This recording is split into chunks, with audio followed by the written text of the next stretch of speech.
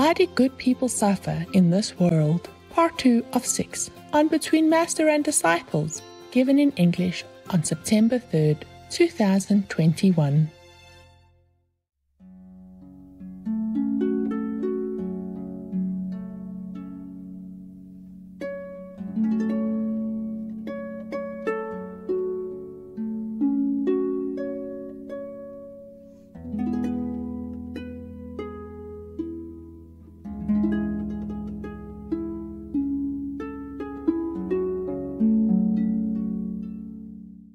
World is dangerous for any good people. You can tell that from the whole world. You read all the news, you know what I'm saying, right? Yes, right.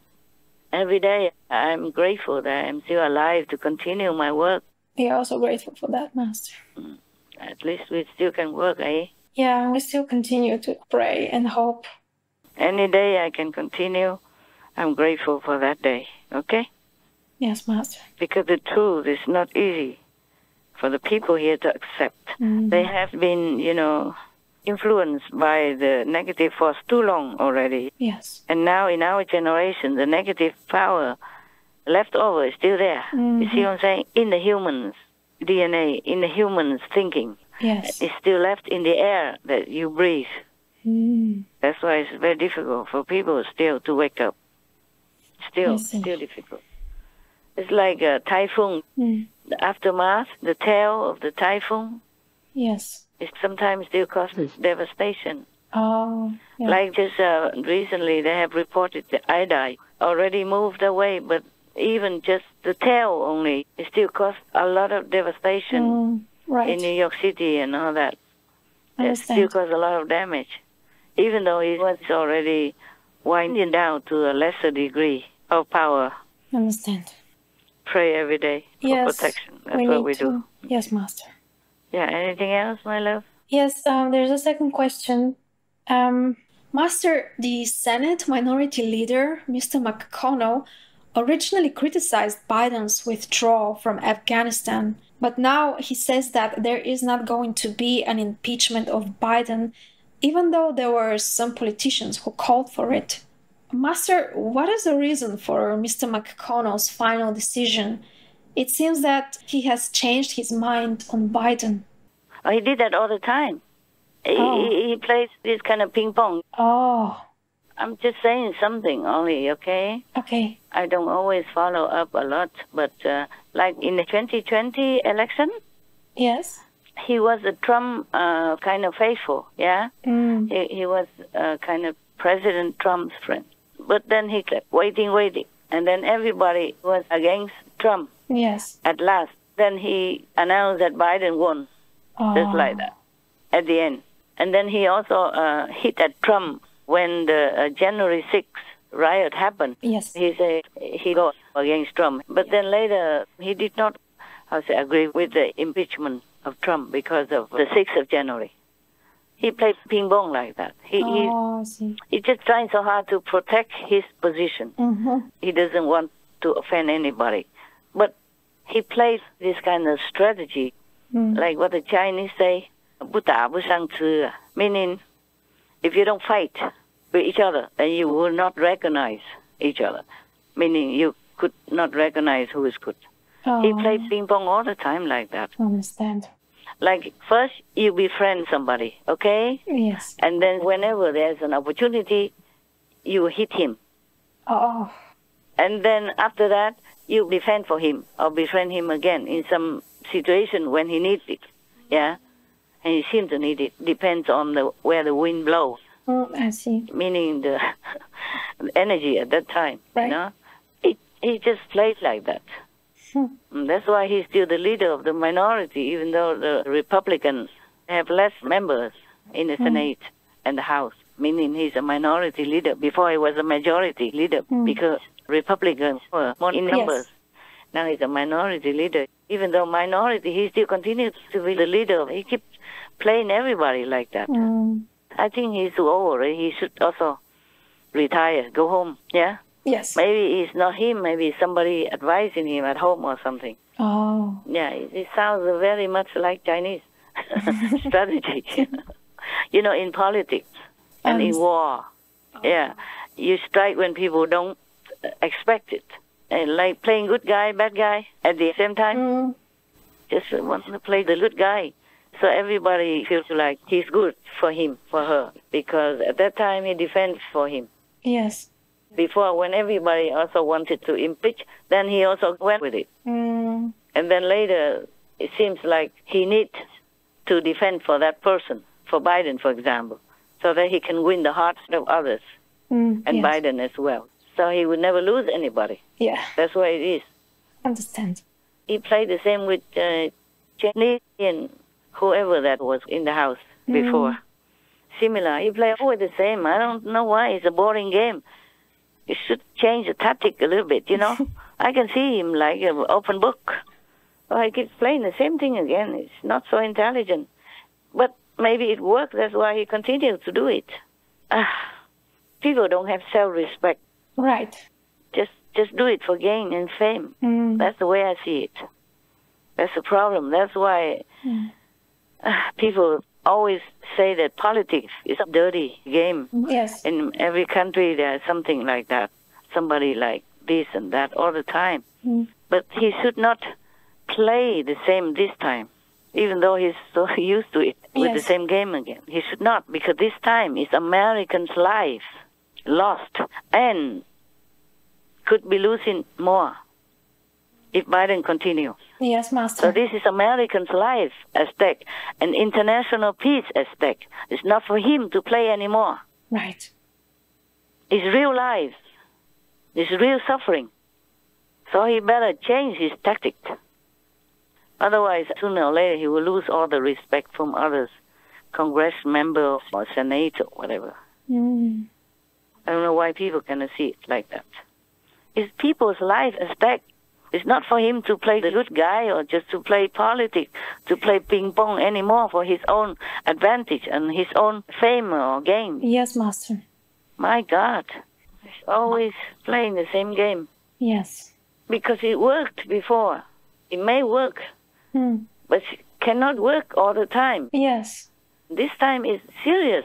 Right. Many Americans' lives and Africans' lives and international people's lives were already lost. And people are still stuck in a restricted country. Mm. Their lives are still in danger. And he just sits there comfortable, getting good pay, getting good, uh, say, respect, and just say anything stupid that he likes. That is beyond stupidity. Yeah. This is denial. Playing with people's lives like that. God forbid. Yes. It's not. It's not right at all. No, definitely not. Either he's mindless, stupid, or evil. Anyway, it's no good for the Americans that he sits there and talk, talk, talk. Yeah. Yeah, and don't care about people's lives lost. Everyone has to take consequence for his actions. Yes. Biden action have killed many lives already, and he still continues to support him. That's not correct. No, it's not. Just because it's for him, too easy to play, and it's confusing because one time you beat and one time you befriend and another time you hit again. People just kind of dizzy, confused, Yeah. so they don't know how to react.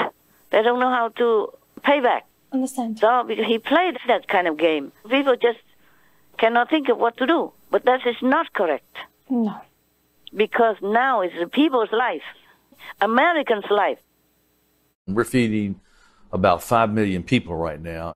All throughout Afghanistan, the needs there are extraordinary. If the international community allows the Afghan economy to collapse, then you got 40 million people with an economic collapse. And it will be chaos. It will be famine. It will be exploitation like we've seen in the past in Afghanistan in the 1990s, what we saw in Syria, what we've seen in Yemen. When people don't have food, they have economic collapse. Terrorist organizations exploit and recruit, and you could have uh, uh, the ultimate catastrophe. He's getting paid by Americans. He's a bad employee, Right. harmful employee, hurting people. People should fire him if he doesn't resign. Yes, Master. Shameless, heartless. Mm. I'm sure maybe somebody advised him badly or something. Mm. If it's him, then he's really wicked. Okay? Yes, Has no moral. no uh, loyalty to his own citizens, to his own country, and not a good employee for his people who paid him well. Yes, Master, true. Let me try to explain a little bit more clearly. This is very difficult because this is kind of a strategy, you know? Yeah. It's subtle. That's why people don't see it. Mm. It's like this, like he tries to befriend somebody, okay? Yes. And then so that person thinks, oh, this is my friend. He's for me. So you don't have any like precaution toward that person. Yes. Yeah, you trust. And maybe you could even tell some confidential things. You you think he's your confidant. Or at least it's uh to you he's harmless, okay? Yes. And then when the opportunity knocks, he hits you. Ah. And then when that person is even in the position of leader, then other people follow suit because they trust him. Yes. Also respect for the leader, so they follow suit. Then the person who's being hit is now kind of almost like isolated. Yes. And then this person comes back to him, like for a rescue. Oh, I see. So, so whoever that is, is in his hands. Mm, Yeah, feel like powerless, right. feel like dependent on him, confused, and don't know how to like uh, fight back. Yeah, Yes. that's what it is. He keeps playing that all the time. Confusing. Yeah, and uh, yeah, and making people feel like they don't know how to deal with him. Understand. Yeah, and he sounds even like he's a very uh, how to say fair person. Yeah. It's not like that. I see. It's not fair when you hit somebody when it wasn't necessary and unfairly. right. And then it's not right when you defend for somebody when he's wrong. Yes. Yeah. Like for this case, like Mr. Biden, Right. he harmed the Americans by letting the immigrants, in French they say, n'importe qui, means doesn't matter who. Just let them in, catch and let go, catch and let go. Catch means register and just go. Go anywhere. You see? Yes, Master.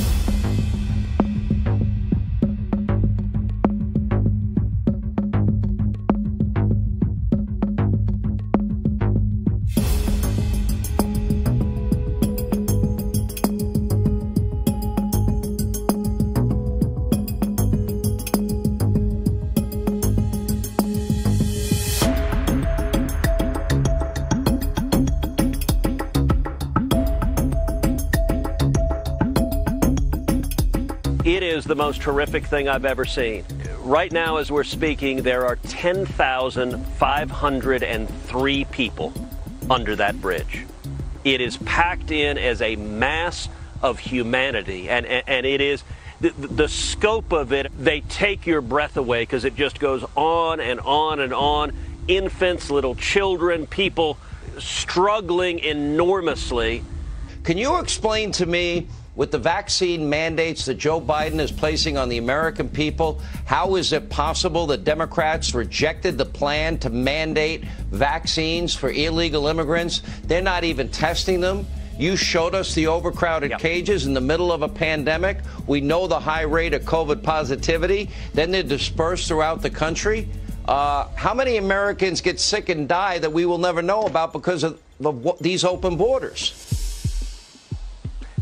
The answer is simple that Joe Biden and Kamala Harris are absolute hypocrites. Those 10,000 people there, do you know how many Border Patrol has tested? Zero. Not a one. They don't have the capacity to do that.